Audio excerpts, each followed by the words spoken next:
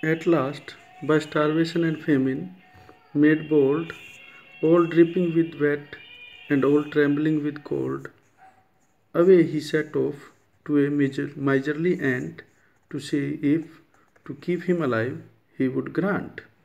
So, when he was suffering with hunger, he was going to die with the starvation and famine. Famine means scarcity of food, having nothing to eat. He became bold. Bold means brave. He was all wet with rain, means water was dripping from his body. It was raining. He was trembling, shivering with cold, and he went to a miserly ant. Miserly means a person who did not want to give things to other. He, he went to that ant and to ask something to eat. He asked the ant to give him shelter and food. Let's read the next stanza. He would grant him shelter from rain and a mouthful of grain. He wished only to borrow, he would repay it tomorrow. So he requested the ant to give him shelter in his house and a mouthful of grain. A mouthful of grain means a little food to eat. He told the ant that he only wanted to borrow, he wanted to take loan, and he would repay the loan tomorrow, means in the next season when the summer will come, he will repay it. If not, he must die of starvation and sorrow. If ant will not help him, he would die of starvation, means with hunger and sorrow. Says the ant to the cricket, I am your servant and friend, but we ants never borrow, we ants never lend. But tell me, dear cricket, did you lay nothing by when the weather was warm? Quoth the cricket, not I.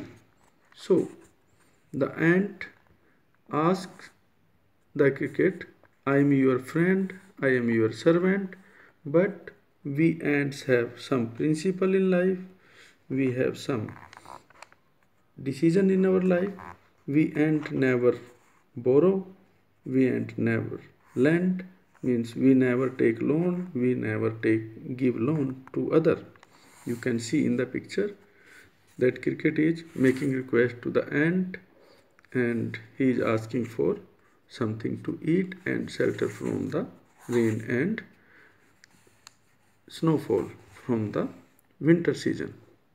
Then ant asked a question but tell me dear cricket did you lay nothing by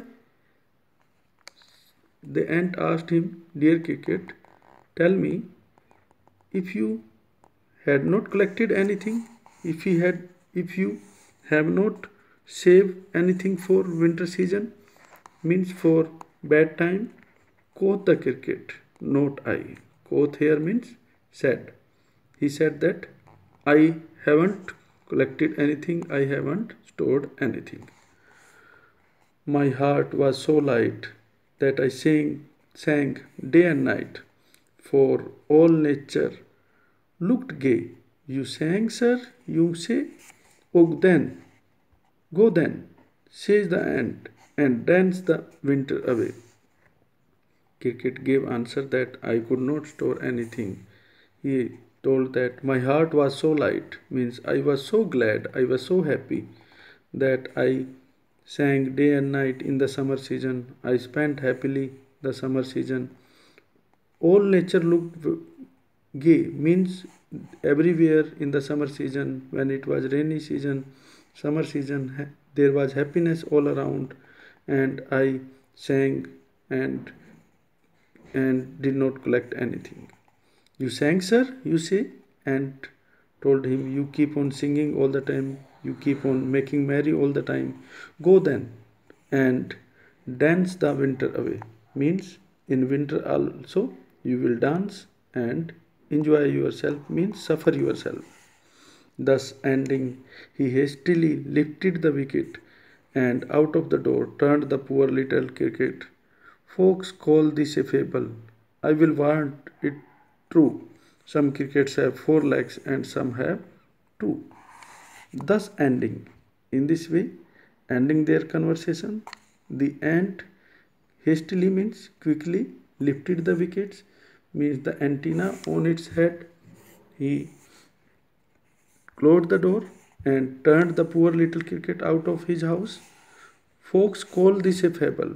Folk means common people call this poem a fable, but poet is saying, I will want it true. Means this story is true one. You can found some cricket who have four legs, but some crickets have two legs. Here, two legs cricket means some human beings, some people who do not work hard. When it's time to do work hard, they are they remain lazy. They did not work hard, and in the end, they have to repent.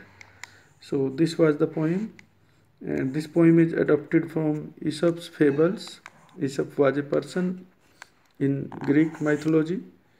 So who told these stories in this way this is the poem the ant and the cricket in this story you have seen that there was a foolish young cricket who was always singing and making happiness making merry he spent the happy days of summer and spring singing he saved nothing for a rainy day the when the winter came in he he did not have anything to eat. The ground and trees covered with snow. The cricket had nothing to eat. He began to starve. He was sure that he would die without food. So he went to an ant.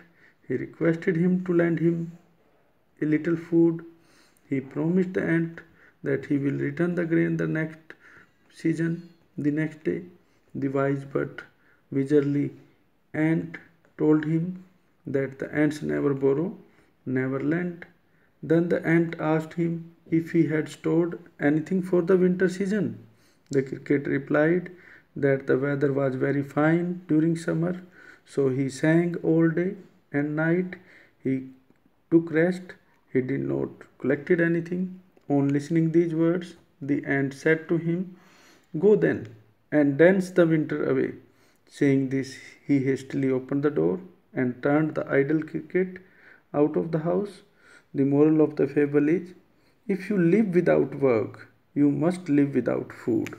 So, this is the moral of the poem. If you live without work, you must live without food. Thank you. Have a nice day.